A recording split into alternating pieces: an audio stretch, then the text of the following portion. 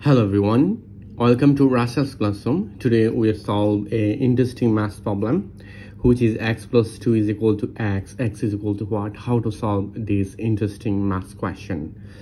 So first of all, our question which is x plus 2 is equal to x. This is our question. Now you can see here is x and then if I move on this x in this side it will be negative x and if I move on this 2 in this side it will be negative 2 so it will be 0 is equal to negative 2 so 0 is it is cannot equal. Now how to solve this interesting math problem? So i use both side whole square. So it will be x plus 2 bracket power is 2 is equal to x square. I use both side whole square. Now at this moment here is x plus 2 times this is x plus 2 and this is x squared.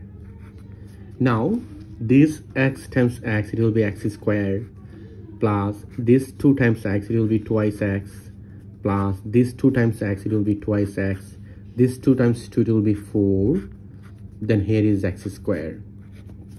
Now you can see easily here is x squared minus i move on this x squared in this side it will be negative x squared plus 2x plus 2x it will be 4x then here is positive 4 is equal to 0 now x square x square it will be 0 then here is 4x plus 4 is equal to 0 now we'll find out here is 4x is equal to minus 4x i move on this positive 4 in this side it will be negative 4 then i divide both sides by 4 we'll find out which is x is equal to negative 1 so we'll find out our final answer x is equal to negative 1 now let's verify our question which is x plus 2 is equal to x.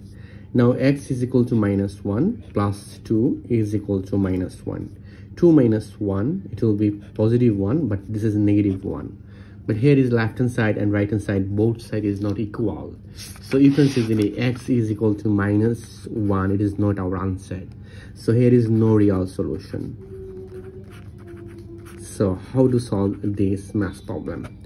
Now at this moment if you think x plus 2 is absolute value and x is absolute value this time you can say that x is equal to negative 1 this is our right answer.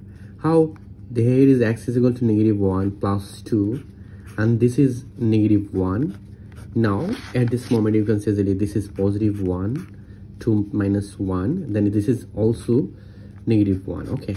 Then you can say that it will be 1 is equal to 1 we know that negative a here is a.